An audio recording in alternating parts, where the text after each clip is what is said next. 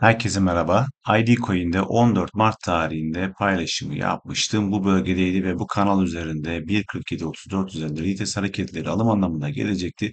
Gördüğünüz gibi birinci kademeyi burada uyguladım. Sonrasında kanal altına indi. İkinci kademe bölgem 1.07.42 aslında mükemmel çalıştı. Ama hedefe ulaşamadan tekrardan kanala temas etti. Ve sonrasında kırılımla beraber üçüncü kademe bölgem olan 0.86.55 bölgesine kadar düştü. Belki ben bu paylaşımı burada yaptığımda buralara kadar düşer mi diyen mutlaka vardı ama her zaman için temkinli olmak gerekiyor. Ve ben stratejime bağlı kalmayı sürdürdüm. Hiçbir şekilde panik yapmadım ve dördüncü kademe bölgesine kadar gelmişti. 0.66-66 bölgesine.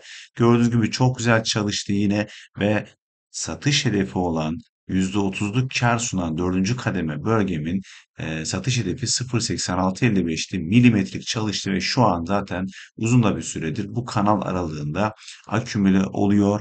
ID coin hiç önemli değil. Sonuçta ben stres yapmadan yaklaşık yüzde 70 düşmüş olmasına rağmen ID Coin'de eninde sonunda o parayı kazanmış oldum ve ne kadar süre geçmiş oldu? 38 gün. Bu arada buradaki kazancımla tabii ki zengin olmadım ama emin olun birçok ihtiyacımı karşılayacak kadar güzel bir meblağ elde ettim.